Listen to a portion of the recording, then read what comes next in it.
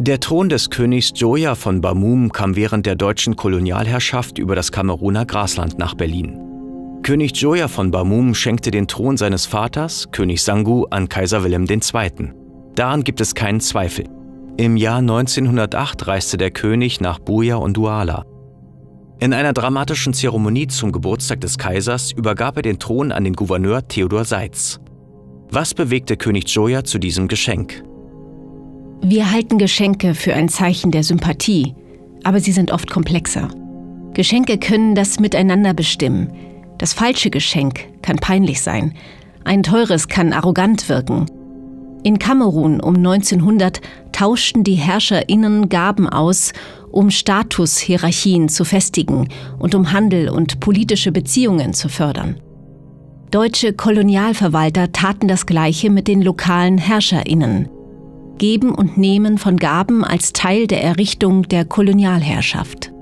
Im Jahr 1902 begrüßte König Joya die ersten Deutschen, die in Bamum eintrafen. Er wusste, dass sie gefährlich sein konnten. Er wollte keinen Konflikt, der ihm und seinem Volk schaden könnte. Zwischen 1902 und 1908 schloss er ein Bündnis mit den Deutschen und profitierte von den Handelsbeziehungen mit deutschen Firmen. Fast von Anfang an lockten ihn deutsche Museen, ihn seinen Thron zu schenken oder zu verkaufen. Er weigerte sich bis 1907. Erst dann erklärte er sich bereit, eine Kopie für den Kaiser anfertigen zu lassen. Was hatte sich geändert? In der Zwischenzeit hatte sich König Joya mit dem deutschen Kolonialmilitär zusammengetan, um das Banso-Königreich anzugreifen.